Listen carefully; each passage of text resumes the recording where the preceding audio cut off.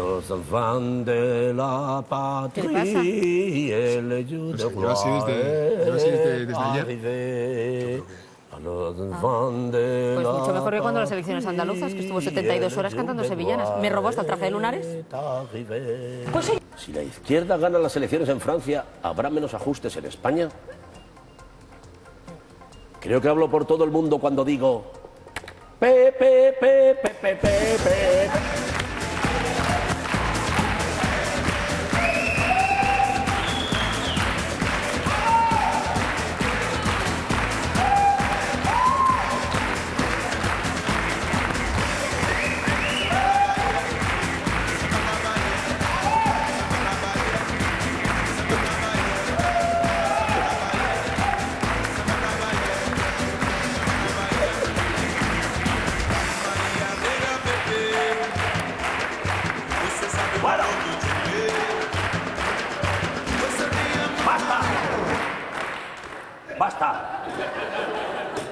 Dani Mateo, por favor, nos estás avergonzando a todos.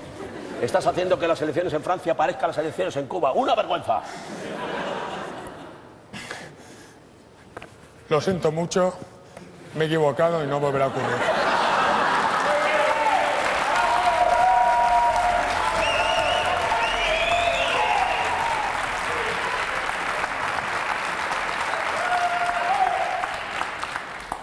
Eso si no lo dices con una muleta no funciona.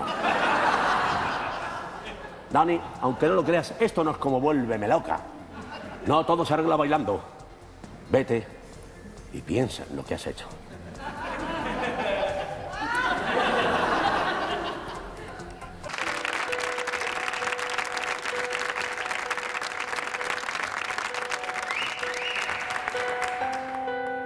Estorninos grandes multitudes como el 15M, grandes multitudes moviéndose sin sentido, como el 15M cuando entran los antidisturbios. Un día más vamos a hablar de Twitter con Dani Mateo. Fuerte aplauso.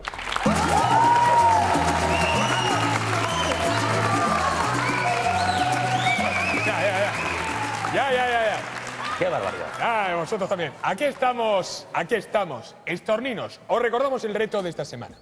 Evitar el retrato más caro de un político, el de Álvarez Cascos. Como sabéis, el líder de Foro Asturias fue ministro de Fomento por el PP de 2000 a 2004. Y como buen exministro tendrá su cuadro en la galería de retratos ministeriales, que por eso se llama así. Lo curioso es que su retrato va a costar 194.000 euros. Qué barbaridad. Sí, porque ha sido encargado al famoso pintor Antonio López. Aunque lo más curioso es que alguien llegue a ser famoso llamándose Antonio López. Bien, a favor de Antonio López diré que entiendo que cobre tanto por este cuadro. Es un encargo difícil. Álvarez Cascos le ha pedido que le saque guapo. Bien, desde el jueves pasado, el Twitter de Foro Asturias ha pasado de 3.707 followers a 5.718. Es decir, 2.000 de nuestros estorninos están pidiendo que Álvarez Cascos evite ese desembolso. ¿Solo 2.000? Oh, ¿Qué está pasando, estorninos? ¿Habéis salvado el Amazonas, pero Asturias os da igual? ay, ay, ay. Sois unos desagradecidos. Asturias nos ha dado el Cabrales. Asturias nos ha dado la Sidra. Y nos ha dado la única pareja real que aún no se ha metido ningún embolado. Querido Álvarez Cascos, cuando alguien te dice tantas veces que no hagas algo, una de dos. O tienes razón o es tu novia. Entre los mensajes que los estorninos han enviado a Foro Asturias, hoy queremos destacar muy especialmente este. Un vale de 50 euros en Berska y eso tuyo. Ya lo veis, Betty, que firma como Eva A97, ofrece este retrato de cascos, que está bastante bien, realizado con el paint de Windows a golpe de ratón, literalmente a golpe de ratón, ¿no?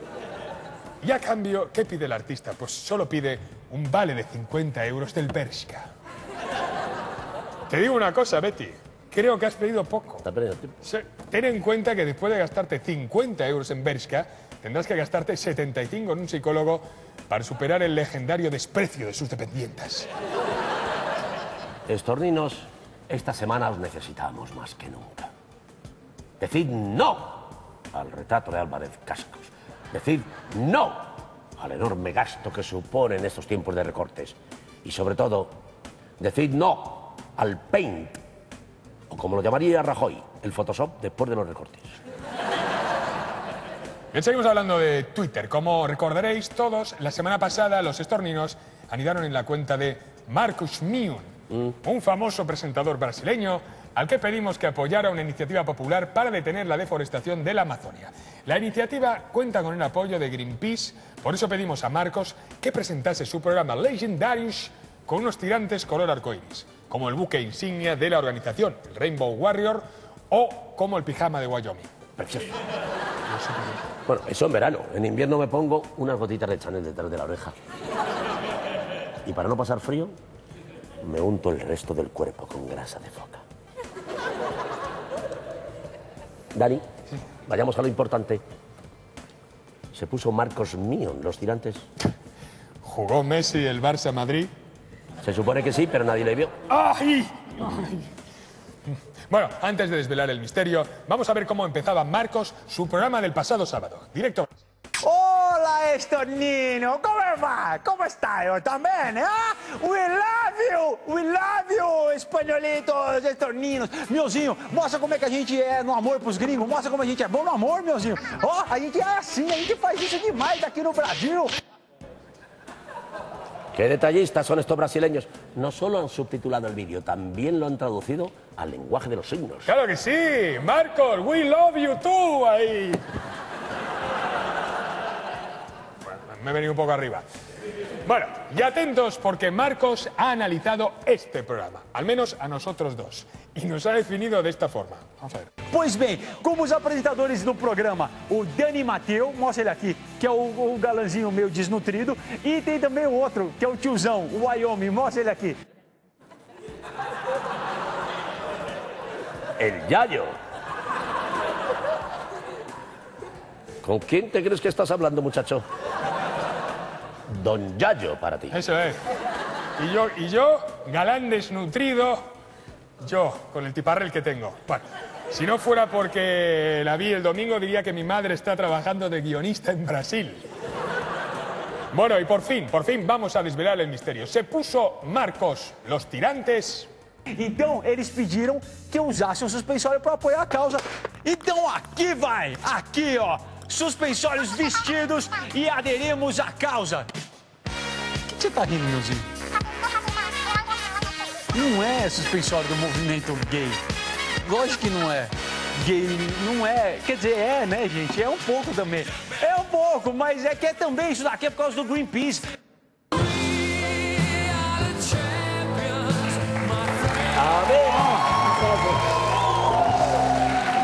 me ha caído el pinganillo de la emoción.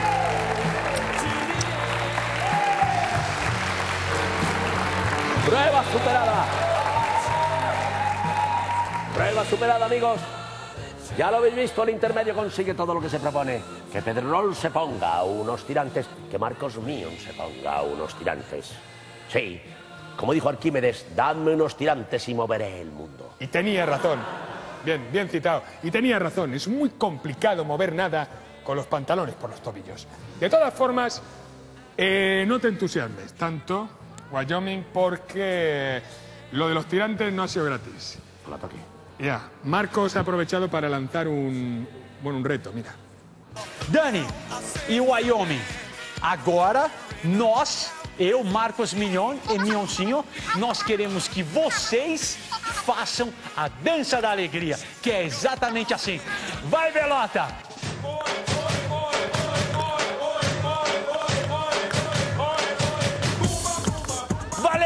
Intermédio. Eu quero ver a dança e manda esse vídeo pra gente. Um beijo a todos os espanhóis, a todo o seu público e eu quero a dança, hein?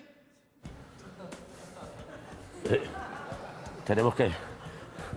Ya, eh, bueno, yo creo que sí.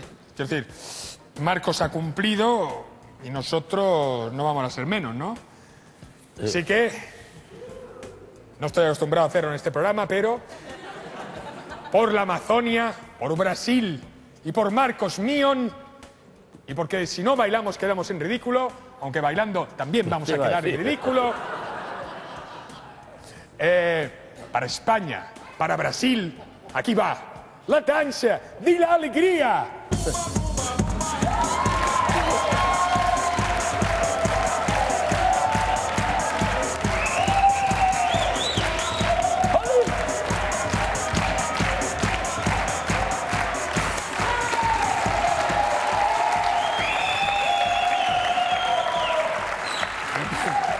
Momento, momento, momento, ¿podría repetir el paso?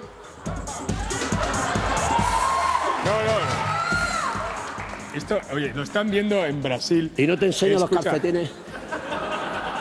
Lo están viendo en Brasil. Esto no es la danza de la alegría. Dani Mateo, no me pidas nunca que te baile la danza de la alegría, la mía personal, cuando haya gente delante.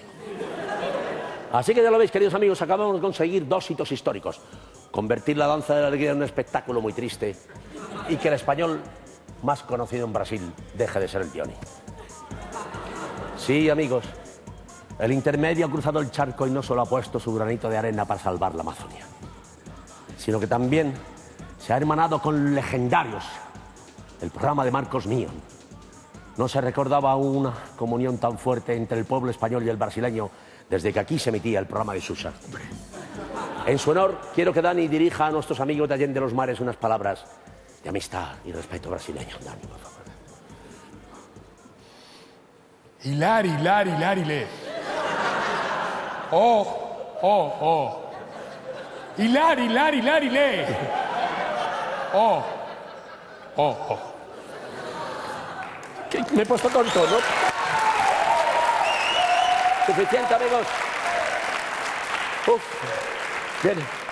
Un abrazo a nuestros amigos de Brasil y fuerte aplauso para nuestra compañera, Sandra Sabatés.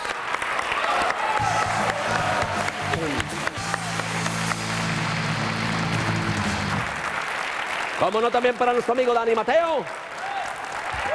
Gracias.